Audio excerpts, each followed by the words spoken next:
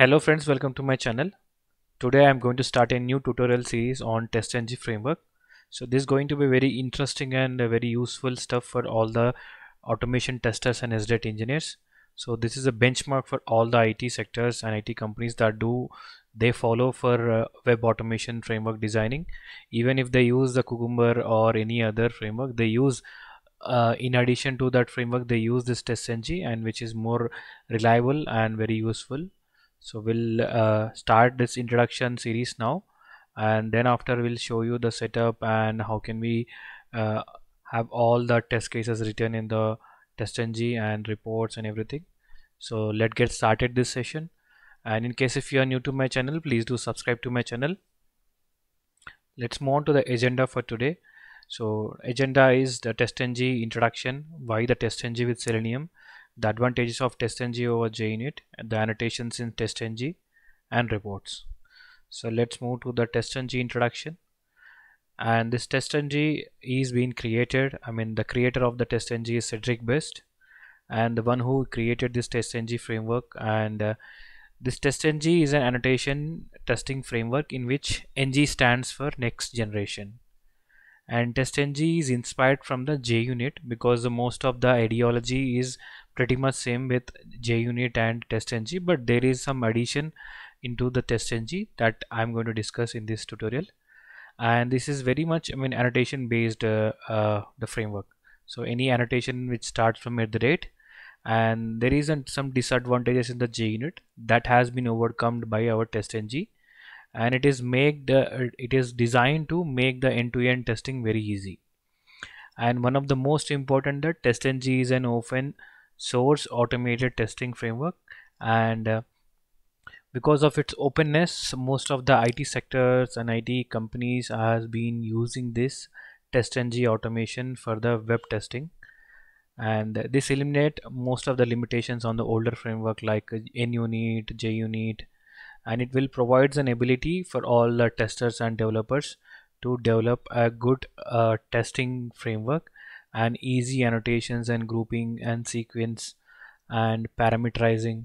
And parameterizing and grouping plays a major role in the current web automation and also in the mobile automation and backend automation. So this grouping and parameterization plays major role. So that i will discuss in upcoming tutorials. So let's move on to the next slide. And why test TestNG with selenium so the question arises in interview also and why this test TestNG with selenium only? Because selenium has some disadvantages but in addition to with selenium and test TestNG there is many advantages. So we'll discuss one by one. So the first advantage is the generating reports.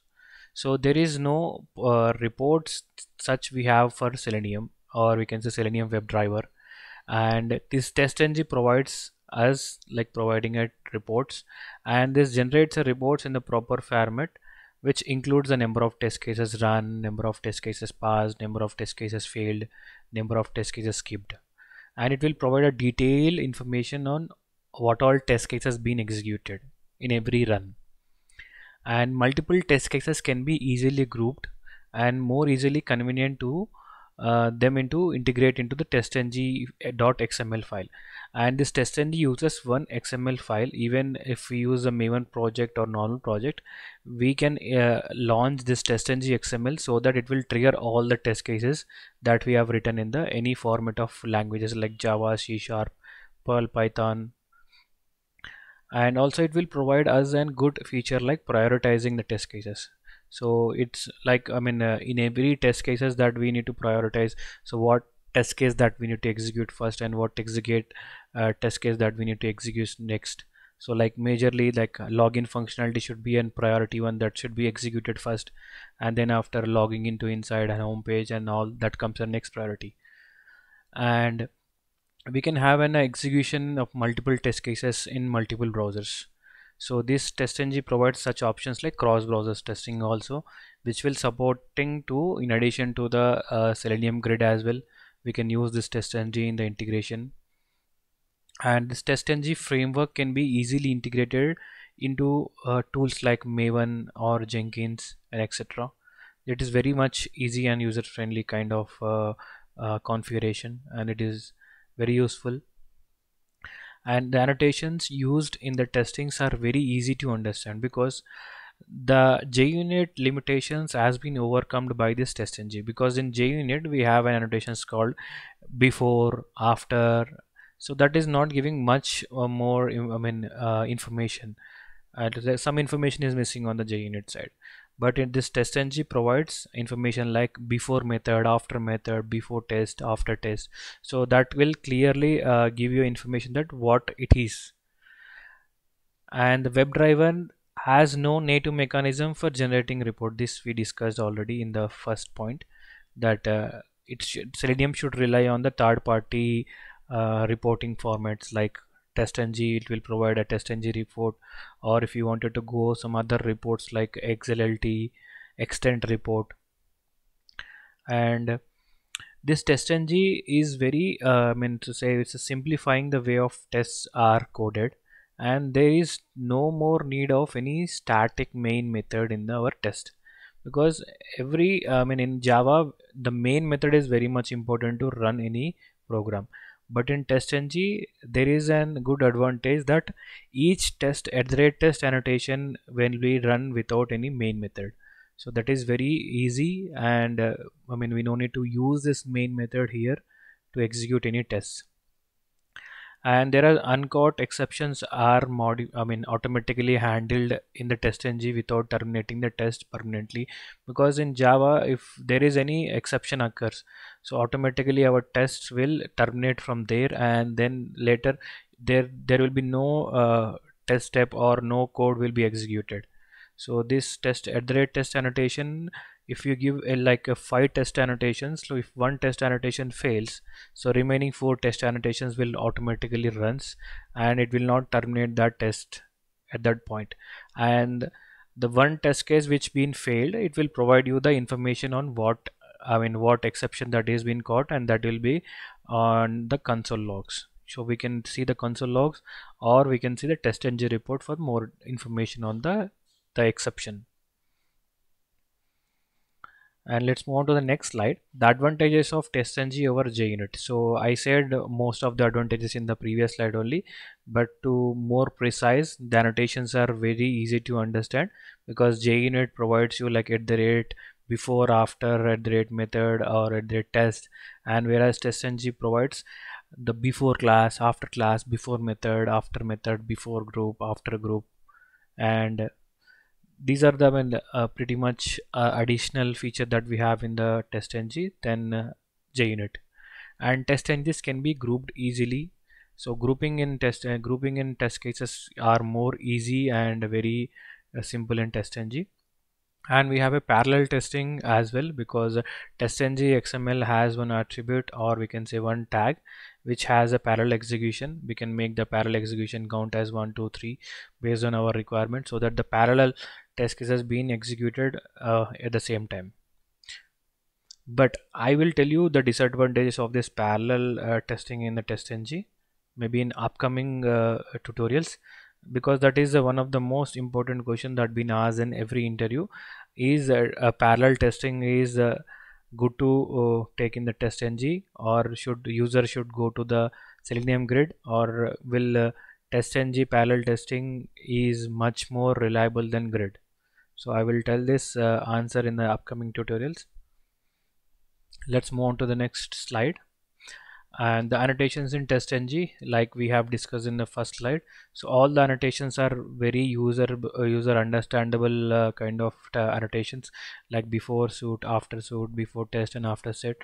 So and before groups after group before class after class before method after method at the rate test.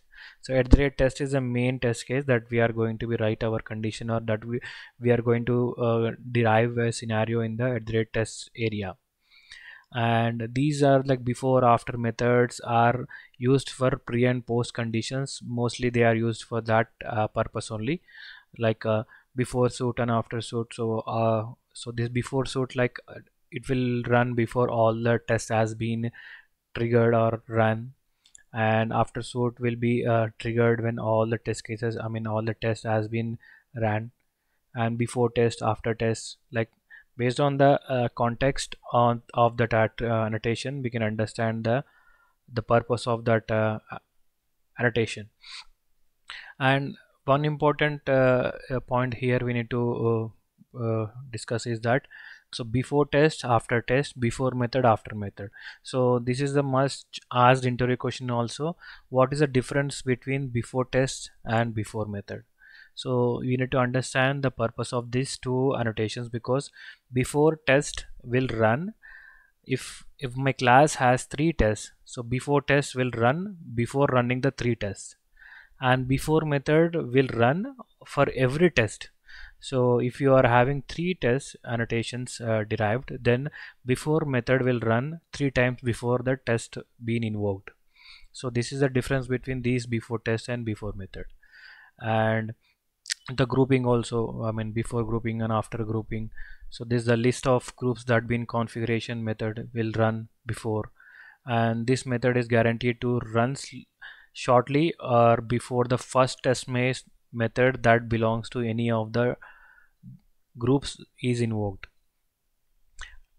And similarly we have before class and after class. So before class will run first I mean this will run first test method in the current class being invoked. And similarly after test. So this will run after all test methods being run in the current class then it's been run. So after running all the test methods only it will invoked. And uh, the one good feature is that uh, before suit and after suit. So after running your results and all the results has been archived or we can say all results has been published then this after suit help us to trigger any emailable notifications or any additional uh, uh, code that can uh, wrap entire test reports into one file and then send it to any user. That will help and that will serve in the after suit. And this will help us in uh, sending an e reporting kind of feature in the TestNG. So these are like uh, almost uh, very user user understandable annotations. In case if you have any uh, queries on these annotations please do post in my comment section. And also I will uh, demonstrate an example on this all the annotations and show you how can these uh, mechanism going to be work. So let's move on to the next slide. So this is going to be reports and this is uh, most important in terms of reporting uh, perspective because whatever we done it plays one part and reporting plays a major part because every uh, organization on higher level management will expect uh, some understandable report. And this test TestNG reports provide some uh, good information. And uh, in console like in to say in uh, whenever we execute any test TestNG class or any test TestNG automation once it ran you will see the console logs so console logs like if it is an eclipse or intellij you can see the console logs. So in the console logs you can see some default suit or default tests. So how many test case ran how many test case failure how many test case has been skipped. So that count will be provided here in the console. And there is one more uh, file called test results file or testng uh, report. So that is the test testng results file which is on the back side so this is a testng uh, report that look like. So almost it will give the same kind of information. It will provide some additional information that how many test cases has been run. You will see uh, uh, the coloring also like what all test case has been green color that is passed what are in red it is failure and any exception caught in the any test annotation or the any uh, annotation which fails you will see the the stack uh, information also so like this uh, the stack information look like and it will provide you detailed information as well. And in case if you wanted to forward this to any uh, any of the higher level management then you can forward this test ng report. And in case if you wanted to use some additional reporting like extent report or XLTD report and I will show that uh, kind of reporting in upcoming tutorials and this is a very uh, useful uh, reporting one can understand uh, very easily by looking into this uh, TestNG report. And in the re results area you can see uh, here uh, we have five test methods and one failure one skipped and three passed. And failure methods and skipped methods and passed methods you can see the details over here. So this is the result section and this is the info section and in the info section you will uh, find what all things that been given in the groups and time and reports and reporter output and ignored methods and chronological views. So this is the uh, some uh, brief on the reports of TestNG and we'll discuss more in upcoming tutorials. And thank you for watching and in case if you have any questions do post in my comment section. I hope this session is useful for you. And uh, let's meet on the next tutorial of TestNG framework. Thank you